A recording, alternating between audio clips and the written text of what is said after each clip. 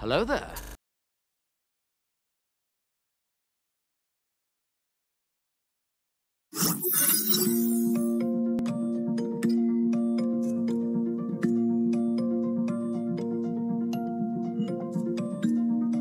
キアナ、どうかしたんですか？なんだか上の空ですが。ん？あ、なんでもない。平気だよ。その顔、私、また心配をかけちゃったみたいだね。もう一人で背負わないって、みんなと約束したから、黙ってるつもりはないけど、ちょっと複雑だから、どう話せばいいかわからなくて。ブローニャは気にしません。キアナの言葉で少しずつ教えてくれればいいんです。じゃあ、ブローニャ、唐突かもしれないけど、シーリンって、どんな人だと思う？シーリン。あの第二次崩壊を引き起こした空の律者シーリンのことですか？うん。夢の中で、彼女の記憶を何度も体験したことがあるの。シーリンは律者で人類の敵だけど、夢の中で最も感じたのは彼女の心残りの方だった。世界は彼女に苦痛を与えた。だから彼女は憎しみや憎悪を他人に向けた。でも、彼女に愛情やかすかな善意を向けた人もいた。なんだか、彼女のことをかばってるみたいになって、ごめん。多分、私も記憶の影響を受けてるのかも。もっと頑張らないとだね。キアナが謝る必要はありません。悩みを打ち明けてくれたこと、ブローニャは嬉しいです。シーリンが引き起こした第二次崩壊。ブローニャの両親は、その災害で亡くなりました。彼女が憎い？全く憎くないと言えば嘘になります。ですが、その災害はブローニャの物心がつく前のことです。正直に言うと、実感がありません。第二次崩壊は、空の律者シーリンの死によって終結しました。彼女は払うべき代価を支払ったんです。だから、ブローニャの憎しみももう終わりました。キアナの話は間違っていないと、ブローニャは思います。人は鏡みたいなもので、それぞれが思う世界を映し出しています。傭兵だった頃のブローニャは、感情のない兵器みたいで、世界に対して冷たい殺意しかありませんでした。でも、かかりやお母様がブローニャを孤児院に入れてくれて、ゼーレがブローニャに家の意味を教えてくれました。人生には様々な可能性があります。成長する最中で接した人は、その人に影響を与え、変化をもたらし、違う道を歩ませることもあります。シーリンも、ブローニャも、それはみんな同じです。支配の律者もそれを利用して、人々の負の感情を大きくし、そしてそれを利用して世界に危害を加えてきたんじゃないですか。負の感情に負けてられないね。その通りです。それが人の心の強いところです。キアナの言ったのが、キアナの中にあるオットーによって目覚めたあのシーリンなら、ブローニャは彼女が嫌いです。彼女がキアナに苦痛を与えましたから。ありがとう。こうして考えてることを素直に話して、素直に礼を言うキアナは、なんだか昔のキアナに戻ったみたいです。私もこうしてた方が私らしいって思ったよ。うん。すっきりした気がする。訓練室で話すだけっていうのももったいないし、ブローニャ、久しぶりに手合わせしてみない？いいですね。次元挑戦、撃墜数、それとも1対1ですか？言っておきますが、模擬訓練でもブローニャは手加減しませんよ。望むところだよ。セーフレイヤーにいた頃、ブローニャは一度もキアナに負けたことがありません。今日はどうかな？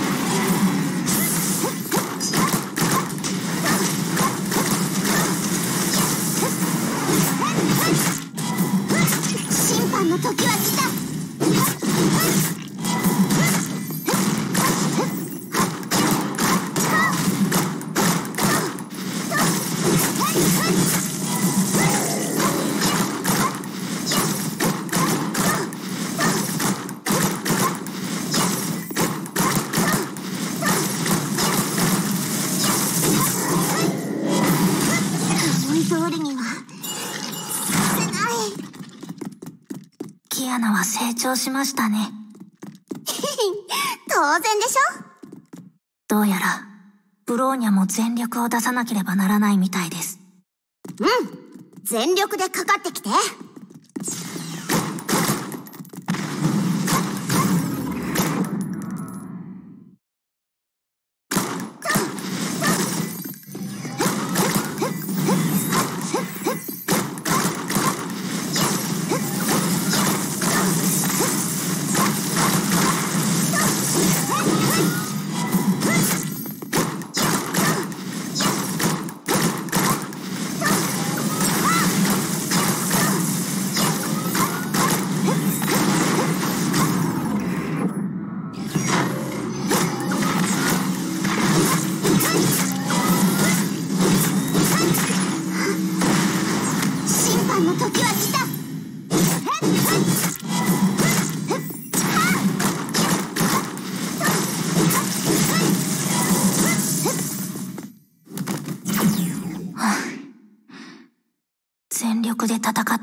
久しぶりです。ああ、疲れた。やっぱブローニャは強いよ。おかしいです。ブローニャ、どうしたの？やっぱり、使えません。断りの律者の力が、まだ回復してないんです。まだダメなの？支配の律者を倒したら、戻ると思ってたのに。ブローニャもそう思ってました。でも、やはり何か変です。最初は時間が経つにつれ、力も徐々に回復するものだと思ってました。でも、こんなに時間が経っているのに、回復の兆しはありません。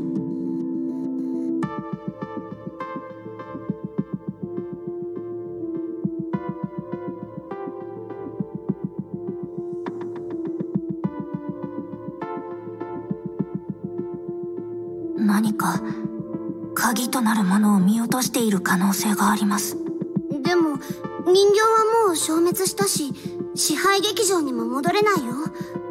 どうやってブローニャの力を取り戻したらいいんだろう。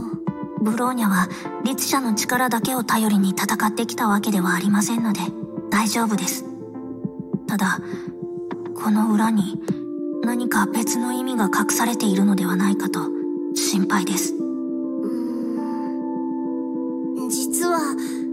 私もちょっと疑問に思ってたことがあるの。支配劇場で空の律者の力を使って通路を開いた時、力を奪われる覚悟をしてたんだ。人形が空の律者の力を自在に扱えるようになるまで時間がかかると思ったから、それまでに奴らを倒せれば私たちの勝ちでも不思議なことに私の力は奪われなかったその後の戦闘でも空の律者の力を使ったけど何の支障もなかった。あの時人形たちは正気がないから諦めたのかと思ったけどでもブローニャの話を聞くとやっぱり違和感がある。律者の力を奪えば明らかに向こうにとって有利なのにどうしてそれをしなかったんだろう。はい。確かに妙です。空の律者の力を手に入れるためハイペリオンまで来たのにいざチャンスが来た時に手を出さないなんて別の意図でもあったのでしょうか。わからない。この件はブローニャが博士たちに報告して相談します。キアナも気をつけてください。うんそうする。まあもうダメ。お腹すいた先に食堂に行ってるからまた後でね。お腹いっぱい。あれ？ゼーレどうして自販機の前でぼーっとしてるの？これ壊れてるみたい。壊れてる？うーん。ボタンを押してないからだよ。ほらこうして押せば出てきたよ。はい。わさびピーナッツゼーレってばどうしちゃったの？まるで初めて自販機を使ったみたい。ふん。どこかのおバカさんがどうしても好きなものを食べてほしいなんて言うから。めんどくさいわ。来なければよかった。ん？今日のゼーレなんか別人みたい？でもどんなゼーレもゼーレだよね。当たり前でしょ。私たちはゼーレだものあなたはどう？もう一人のあなたとの喧嘩はどうなったの？まずい。言っちゃいけないことを言ったかしら。ゼーレに知られたらきっと怒られるわ。えっと誰しも心に善と悪が共存してるからあまり気にしないでって言いたかったのよ。あなたがあなたの信じたいものを信じそれを貫き通せばそれで十分でしょ。もう私ったら何を言ってるの？やっぱりゼーレはすごい。は？まだ何も言ってないのにもう私の悩みを見抜いちゃうなんて。本当にゼーレは優しいな。アドバイスありがとうね。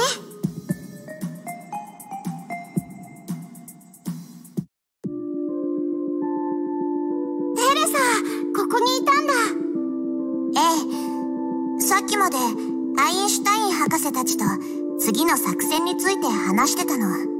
それで食事のタイミングを逃しちゃったから。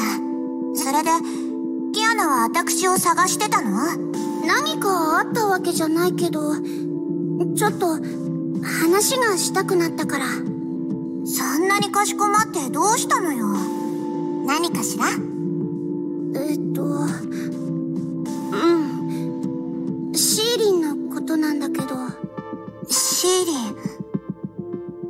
次崩壊の時テレサはシーリンに会ったことがあるんだよね。ええあの子を助けてあげられなかったこと。今でも辛い記憶だわ。彼女は人類の敵になることを選んだ。それでもテレサは彼女を助けたいと思ったの？あの子は過ちをたくさん犯したけど彼女一人が悪いわけじゃないわ彼女を正しく導いてあげる人が彼女のそばにいなかっただけよ。子供に善悪の区別を教えるのが大人の義務だもの。正しいことを教えてもらえなかった彼女が過ちを犯しそしてその罪を全部彼女に背負わせてしまったらもしも私がもっと早くバビロンの塔の実験に気づいてシーリンをセーフレイヤーに入学させていたら彼女は助かっていたかもしれないけどこの世にもしもなんて存在しない起きてしまったことはえられないの。テレサ。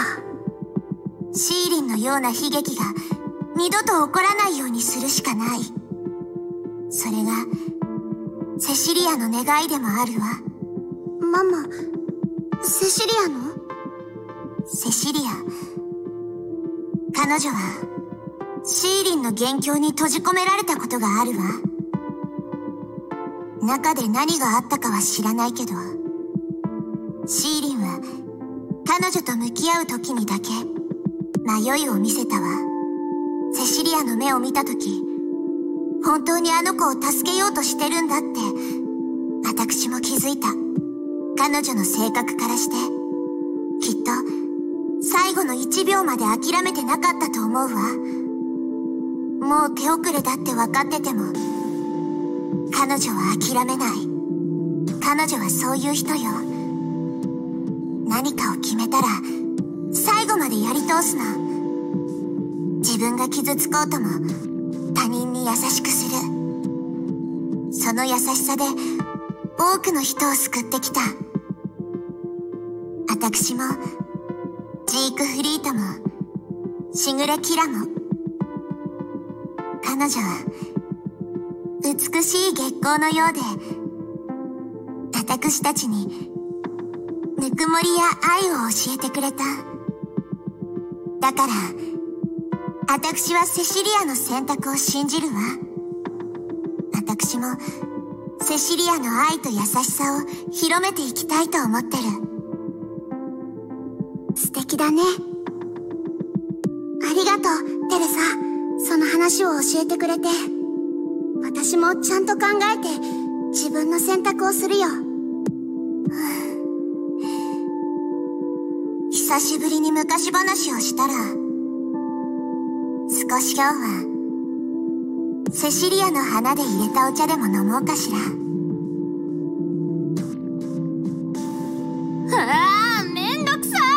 落ち着いてくれ、テスラ博士。君が声のボリュームを上げても、調査進捗は変わらないよ。何があったの？人形事件の余波さ。どんな？私が説明するわ。私たちが戦隊の人形個体を消滅させた後、人形の宿主たちも徐々に正気に戻っていったの。まあ、彼ら自身は律者と意思の疎通を図る手段がなくて、有効な特定方法もないから、調査で推測した結果でしかないんだけど、ここ2ヶ月の失踪報告、当事者の性格が急変したという証言、自身の変化に気づいた本人の申告、そういった方法で特定していったわ。それらの報告をまとめたところ、私たちはその結果に驚いた。その数。え？人形の数は1000体以上もあったってこと？そう急いで結論を出す必要はないよ、キアナ。私たちも最初は驚いたけど、さらに調査したところ、事実は私たちの想定と少し違っていたわ。失踪報告と目撃証言には、一部人形と無関係な事件があった。それは、まだ私たちの想定内だったんだけど、本人の申告によるものに関しては、怪しい部分がかなり多かったの。一部内容が矛盾してる人たちもいて、確認しに行くと勘違いだったって言われることもあった。一番わけがわからないのは、3回聞いて3回とも全く違う回答をしたやつよ。それって、誰かが嘘をついてるってこと？そうよ。どこで情報を掴んだか知らないけど、異常な力によってトラブルを起こした場合、その責任を負わなくてもいいってことを知ったみたい。で、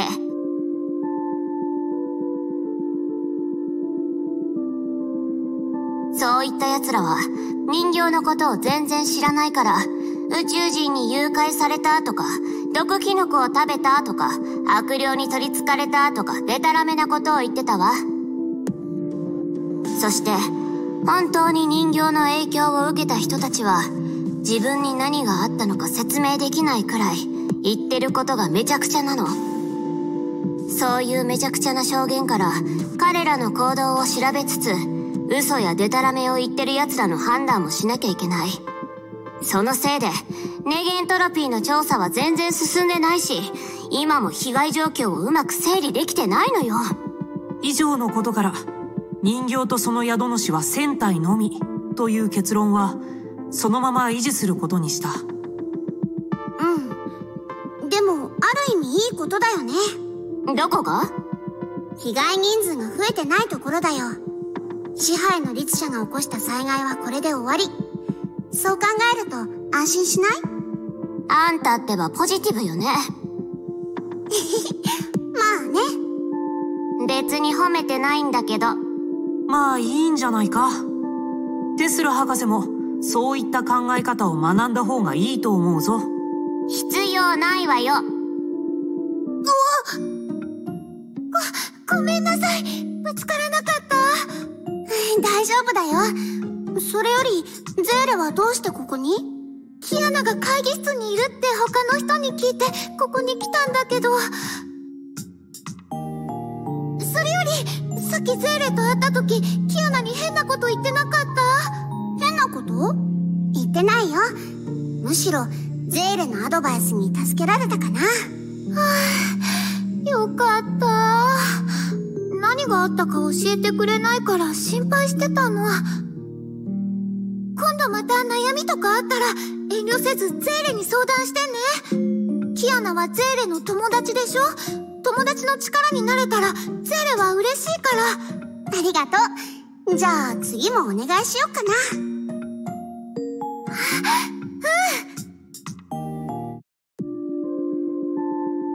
あ。疲れた。訓練の時に色々考えてたら、こんな時間になっちゃった。やっぱり、難しいことを考えるのは苦手だな。でも、私のために考えてくれた。わけのわからない質問をしても、誰も笑わず、真剣に答えてくれた。いろんな形で私のことを思ってくれて、助けてくれてる。ありがとう、みんな。誰？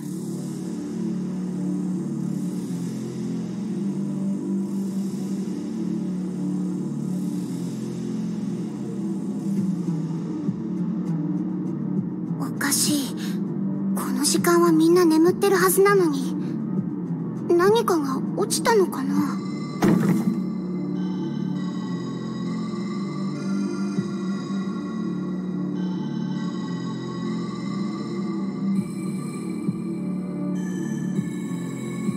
ドアの外から気配は感じない。敵意もなさそう。でも、油断は禁物。異常を確認したら、すぐみんなに知らせないと。ど